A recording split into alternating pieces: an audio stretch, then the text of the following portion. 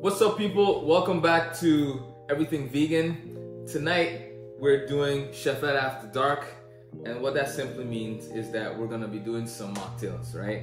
Um, and yeah, we're gonna get into it. You know, sometimes you decide you're not gonna drink, and you wanna make something or have a drink that looks like it's part of the crew, you know, part of the cocktail crew, but we're gonna be doing a mocktail, right? And this particular mocktail, very it looks fancy, it tastes fancy, and um, I, I, think it's really cool, right? So ingredients for this is very simple, and no pun intended, but we're gonna use some simple syrup for this simple but tasty looking recipe. All right, we're gonna use fresh thyme, which I'm gonna throw right into my shaker.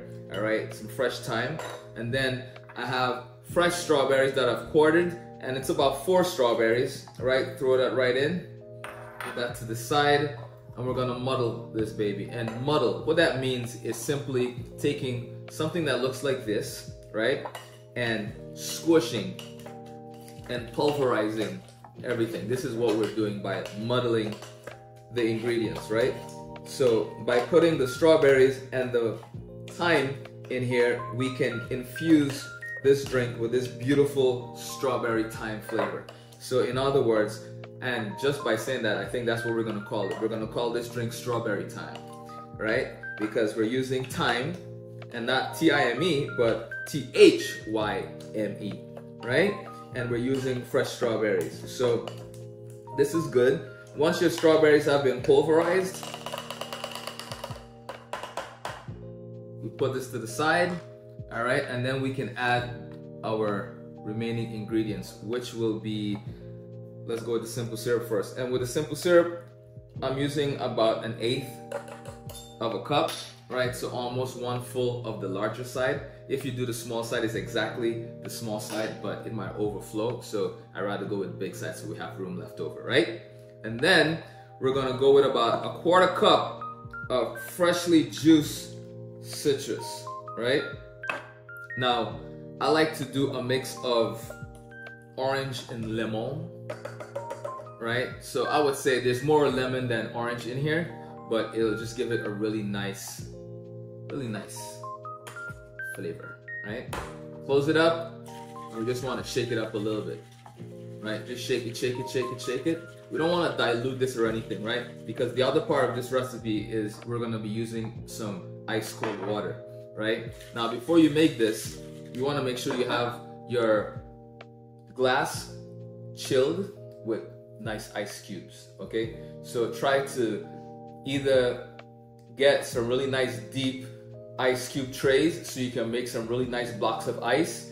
I tend not to use the ice that comes out of the freezer, you know, that the machine makes, the ice machine makes, because it melts very quickly. And I don't want that for these kind of drinks. You know, for mocktails, you don't want your drink to dilute very quickly, especially since there's not gonna be any alcohol.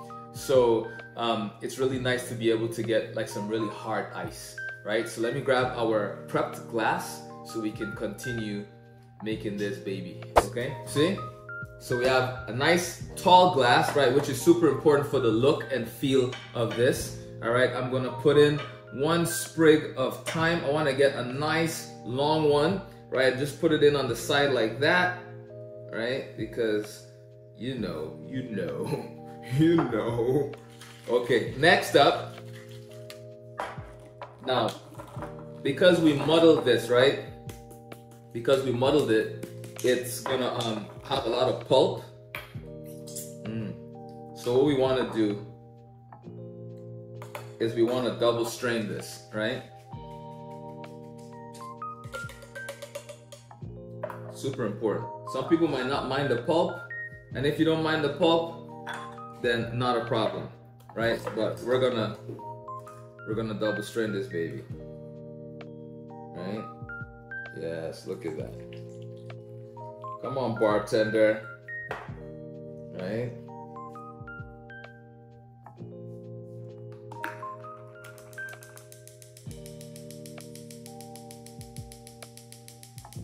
You could use a spoon to kind of press it through if you want, if you're finding it's giving you a little bit of trouble.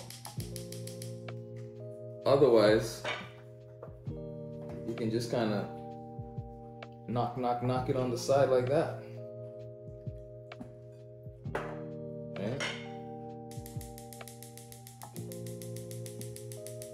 See that beautiful color? Yes. And as it's falling on the ice cube, it's also getting nice and cold, right? So you have the cold, you have the cold um, glass, and you have the ice. Okay, we put that there to the side, right? Because we still want to be able to see this. And then we're gonna top it off with some water, water, right? But that's about it. We don't want to put too much. And ladies and gentlemen, this is our strawberry time drink, okay? Cheers! Make sure you subscribe, turn on your notifications, and if there's a particular cocktail you would like to see, hit me up, send me a message, comment down below, let me know.